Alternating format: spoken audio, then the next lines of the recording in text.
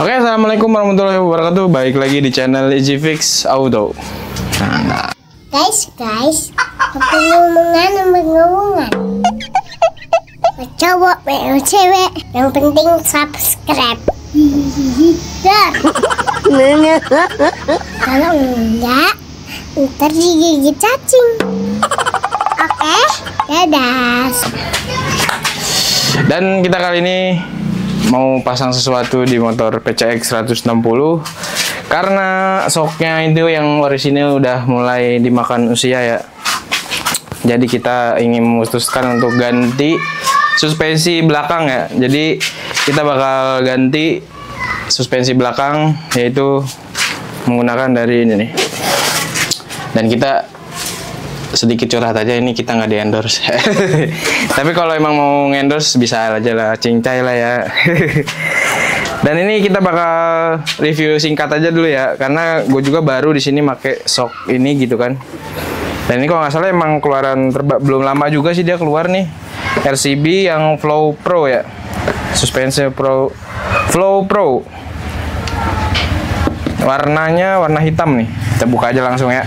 Dapat apa aja ini dapat bos-bosan juga nih. Ini nanti kita sesuaiin nih sama si dudukan yang di sininya nih yang di soknya. Dan ini langsung nanti kita sesuaikan. Dan emang di pilihannya sih ini emang udah khusus buat si PCX 160 ya. Sini ada stiker juga nih. Jadi dijamin original ya. Terus ada buku buku Sama apa nih ya? garansi itu. Ini ada garansi juga nih. Jadi buat teman-teman mungkin yang belum sah belum masih bisa apa? Masih berlaku bisa diklaim nih garansinya. Garansi klaimnya ke mana ya? Ke tokonya Oh, ke tokonya siap, siap. yang bertanggung jawab. Langsung kita taruh aja dan langsung kita angkat nih sorry. Dia emang tipe tabung ya. Dan emang itu kan nih. Enggak. Dan ini penampakannya si RCB Flow Pro. Cukup kalau menurut gua nih ya pribadi ini emang elegan sih dia nggak nggak terlalu mencolok juga warnanya cuman ada di aksen merah merah doang ini. Dan ini buat teman-teman di sini dia udah klik ribbon ya. Nih coba kita tes. Tuh.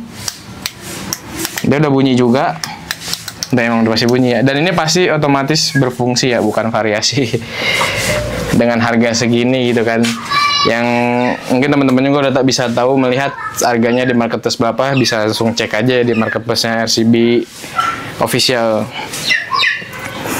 Nanti untuk ribbonnya kita sesuaikan ketika udah dipasang jadi ini kita usahain di sini ada ini nih. Dari varian terkecil sampai varian ke besar mungkin slow sama high kali ya. S sama H. Gue juga nggak tahu sih. Tapi mungkin dihabisin ke kiri. Eh ke kiri ya. Ke kiri itu dihabis paling kecil. Mungkin kalau paling gede itu di ke kanan. Ini udah ada panduannya juga sih. Dan nanti langsung kita pasang. Tinggal ini aja nih pasang.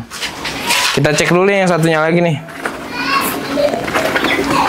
Apakah ada cacat-cacat atau ada gompal atau ada reject sih gimana aman lah ya. Jadi emang aman nih. Emang masih baru juga sih nggak mungkin. Dan di sini juga ada nomor seri ini ya dari RCB nya nih. Tuh teman-teman bisa lihat original ya. Jadi langsung aja kita bakal pasang ke PCX 160 oke? Jangan di skip videonya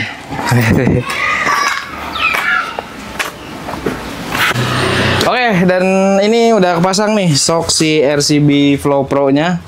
Tuh gokil sih dan manis banget gitu jadinya. Kayak gula gitu jadi manis. jadi ini udah kita pasang dan ini sekedar tips aja sih buat teman-teman karena di bawahnya ada ribbonnya ya. Jadi usahain kalau misalkan nyeting si ribbonnya harus balance ya. Misalkan yang di si yang sebelah kanan diputer sekali atau dua kali itu dia harus balance karena kalau misalkan yang kanan dua dua klik, yang kiri tiga klik, takutnya nanti malah nggak jadi nggak nyaman gitu kan. Makanya ini kita abisin dulu ke kiriin. Udah gitu kita buka ke kanan ya. Kita dengerin bunyinya misalkan contoh ya satu dua tiga empat lima enam tujuh delapan sembilan sepuluh sebelas dua puluh ini kau nggak mentok-mentok ya? 40 41 41 oh. ini ada 41 klik baru mentok dia. Coba kita coba yang sebelahnya lagi. Satu dua tiga empat lima enam tujuh delapan sembilan sepuluh sembilan tiga sembilan empat puluh empat satu. Bener. Berarti ada 41 klik nah kita coba genjot ya. Apakah tuh empuk banget ya? Nah ini kayaknya lebih empuk banget sih nih. Tuh dia lama naiknya tuh. Tuh lama kan? Ini paling paling akhir ya paling besar nih. Ada 41 klik mungkin kita akan milih di tengah-tengah. Jadi nggak nggak keras nggak lembek gitu kan. Misalkan tadi 41 kita ambil di angka 21 jadi kita balikin lagi di 20 klik oke? Okay? kita coba. Satu dua tiga empat lima. 19 20 ini yang kirinya juga ya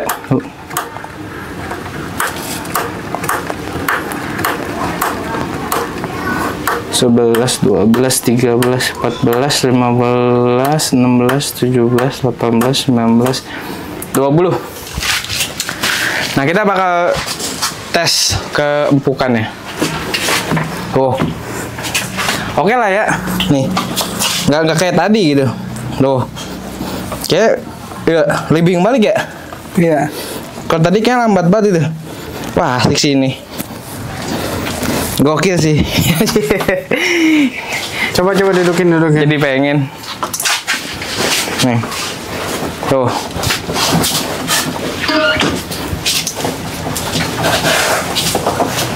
Nggak kan ya? Masih di sini sini.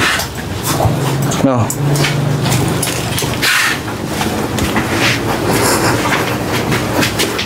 Gokil ya. Ini buat tuh buat terabas-terabas sih oke banget sih ini. Jadi kita pakai di 21 klik ya. Nah, buat teman-teman paling menyesuaikan kalau misalkan nanti di jalan kurang keras atau kelembekan tinggal diputar aja. Misalkan tadi udah kita kurangin di 20 klik, kita kurangin lagi 5 misalkan kayak gitu. Tapi usahain kanan kiri dia balance ya. Jadi nggak nggak kaku dia. kalau misalkan teman-teman lupa ya berarti dari nolin lagi. Karena sangat berpengaruh ketika dia klik, klik kanan klik kiri berbeda itu pasti sangat berpengaruh gitu. Jadi gokil banget sih soknya. Mungkin nanti kita bakal coba yang non tabung ya. Oke gokil mantep pokoknya soknya.